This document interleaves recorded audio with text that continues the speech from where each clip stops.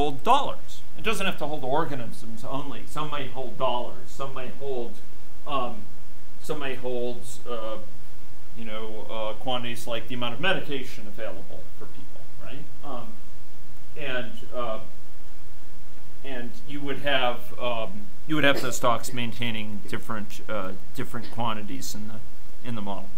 Um, okay, so uh, I want to mention system structure diagrams. What does this diagram look like to you? It's kind of a, a, a it's kind of a combination of a causal loop diagram on the one hand with a stock and flow diagram on the other. And in fact, there are within our model a set of, within a stock and flow model, there's going to be a set of feedbacks associated with it. And this sort of system structure diagram is used to document those feedbacks. Those feedbacks are here. They're present in the model structure. We can deduce them automatically, but we often will, will draw them on here for good effect. Um, for example, can anyone tell me why is there a shown as being a negative feedback loop involving, um, well, say, involving in infectives on the one hand and recoveries on the other. You'll notice there's this, this negative feedback here. Why do we say there's a, a negative feedback? Anyone? So, who,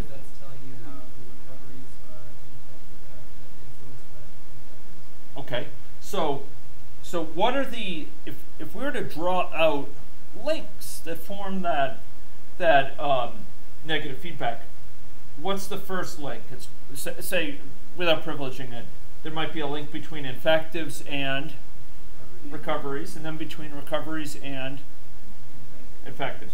Now, ah, ah, ah, okay. Um, thank you, Kurt. So that so that's very good. The link here is very obvious between infectives and recoveries. And let's just go through the process of, of verifying that it's a negative feedback loop. Who can help me kind of reason through um, this process, talk to you about, well, if A increases, does B increase, all other things being equal, or decrease? Who can walk me through this? So the first link from infectives to recoveries, why is it labeled plus? Because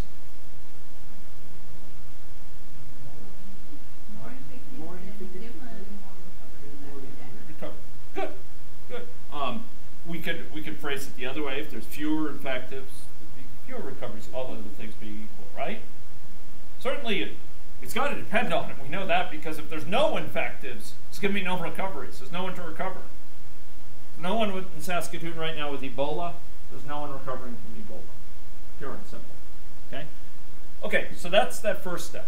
Now, how about the second step? First of all, if it's a negative feedback, the second step from uh, recoveries to infectives is that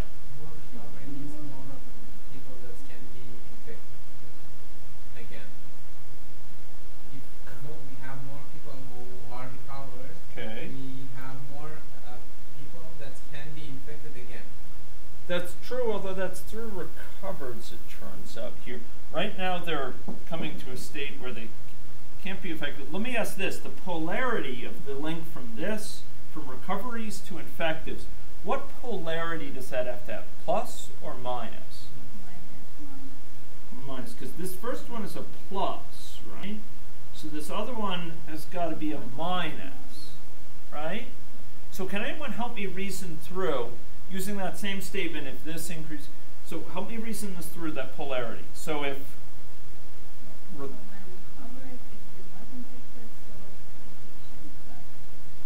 So if we have more recoveries, if we have, if we said, wow, this week we had a hundred recoveries, you know, of, of, of patients who had TB, would we tend to have, if it went up to 100 from 50 on per week basis, um, if we had, instead of 50 per week, we had 100 per week, there was an increase in the number of recoveries, you know, measured per week or, per whatever unit time. Would that tend to increase or decrease the number of infectives? And through this connection. Decrease. That would tend to be lower than it otherwise would have been. Right? Mm. So hence that you view that as it's an outflow. Kurt, Kurt sort of nailed it on the head. Um, it's this is an outflow from it, and hence it comes as a, a negative. Increase this, and therefore this decreases compared to what it otherwise would have been. So hence it's a negative feedback. Does that make sense to people? So so the neg so this is the remain the sort of part of the of the feedback that's it's through this flow. Similarly, this guy here, right? You increase the number of recovered people, people who are temporarily immune, you, you could have more people who could have waning of immunity, this loss of immunity, and that would tend to decrease the number of recovered. So a fair number of these feedbacks go through, ladies and gentlemen, flows. And remember my earlier chestnut to the effect that feedbacks in general involve one stock, because stock is the thing that prevents that feedback from being instantaneous, typically.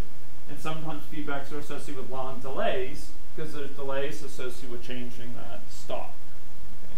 Changing, changing, changing things, like changing the amount of CO2 or what have you uh, in the atmosphere. So here, here we have um, stocks, uh, stocks and flows shown together with causal diagrams. Question? What was that, when you talked over the number of recoveries? If you, What do you do? if, if- okay, uh, so so remember we're talking about a flow here. Oh, oh, oh sorry, no, no, not recoveries. You're talking about recoveries, stock. Okay, because I was going to say if we're talking about a flow, we have to talk not in terms of numbers, but in terms of rates. How, how many per whatever. But we're talking. Kurt is actually talking about recovered. So if we had more recovereds, we said, oh, all these people who got flu. Um, you know, uh, we have more people who are at risk of, of having their immunity to flu wane. In other words, so pertussis. We have a lot of people who've got pertussis, and it turns out pertussis, if you get pertussis once, it doesn't protect you for life. You, you're, you're, you, if you have 100 of these, you could have more people at risk of, of waning, so we'll tend to have, all other things being equal, more people, a greater rate of people losing their immunity, okay, on a per year basis. If we had zero of these, we'd have no one. If we had 100 of these, we'd have more of these. If we had 200, if we had a million of these folks who just got pertussis, poor folks, um, we, we'd, we'd have more people who would be at risk of, having their immunity wane, right? So that's a positive, that's a, oh, that's a, ooh, oh, oh, oh, oh, that should be a plus. Okay. Okay. Oh. Thank you. Um, okay, now this is really awkward. Um, okay. Um, uh, well, I'll, I'll, I'll draw it in here before I later. Um, and, and this is an example of a system structure diagram. This is from a study in Africa, economic welfare, having to do with stigma and migration and people's social networks and, and AIDS progression and, and sort of people trying to make make a living while, while uh, under AIDS and sort of uh, the critical role of women in, in this context. So this is a stock and flow diagram. This diagram is is actually distinguished from this one in the sense that this is actually a runnable model. This model is actually not runnable, but it's it. So sometimes it further clarifies things within a causal loop diagram to actually include stocks and flows. Because, ladies and gentlemen, within a within a causal loop diagram, if we have just, you know, A is connected with B in a positive way, we don't know the semantics of that. We don't know the nature of that relationship. And if this is a stock and flow relationship, us to understand the dynamics of the system better if we represent it like this. This this tells us a lot more about the nature of the relationship. Because among other things it says if you change A, you can expect to change B, but over time, that impact will be manifested over time. It won't be manifested typically instantly, with the exception. Yeah, okay. Um, so, with the exception, uh, but for a lot of systems, we're, we're not going to be able to, to, to, to influence this over time. I think part of the issue is a bank, a bank withdrawal is an event. It's like essentially an instantaneous event. It's not like a continuous flow. I think that's part of what's going on here. It's not we have some dollars per month coming in or something. It's like, okay, bang, we're gonna we're gonna withdraw it, and so that that throws off the reasoning a little bit. Here, if we have A coming into B as a flow, a change in A will lead to a change in B.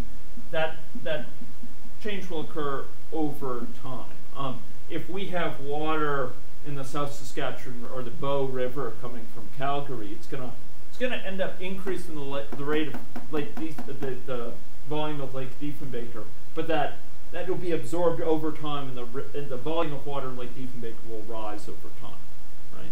If you have at the cellular level a larger number of of uh, amount of sodium, which opens up sodium channels to change the concentration of the amount of sodium in a cell, that concentration will change over time, but but it'll change, it'll readjust in a sort of gradual way. And so here, it can help in a model, in short, to distinguish a stock and flow relationship rather than just representing it as this sort of thing. Does that make sense to people? And and that allows us sometimes to reason through what we could change more easily. Um, it also allows for capturing the fact that you know we may have we may have you know flo- several flows into the same stock, etc.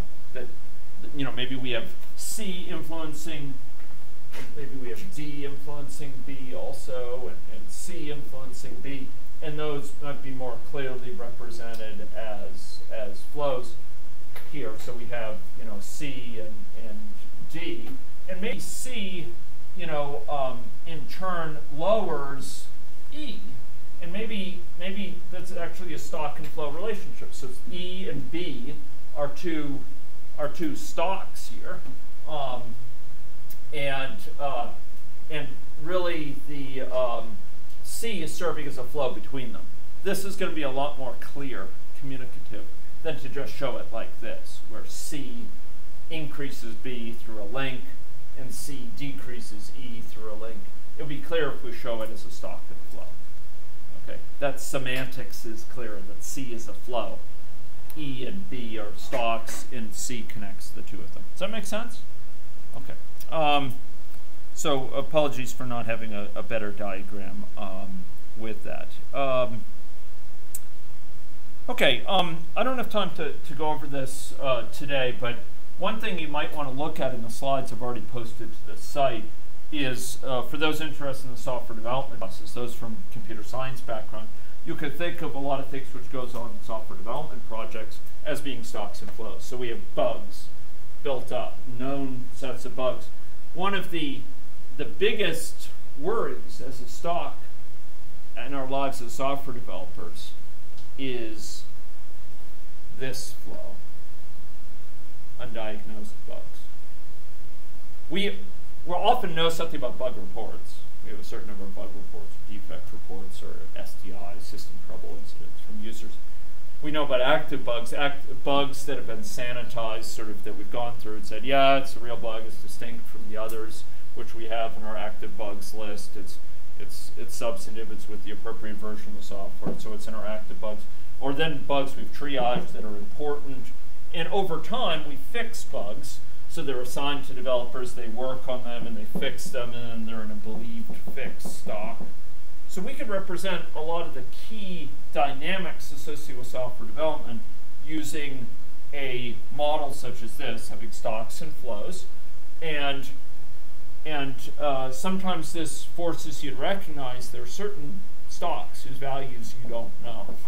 Like how many undiagnosed bugs there are out there. Is it large or is it small? And there's ways to try to, to try to estimate that. Um, so I've, I've described some um, some challenges here which you could you could think about. Um, okay. Um, in any case, uh, I've given you a glimpse of of some um, some issues with flows. I want to leave you with one final thing. Okay, so um, so this would be um, further.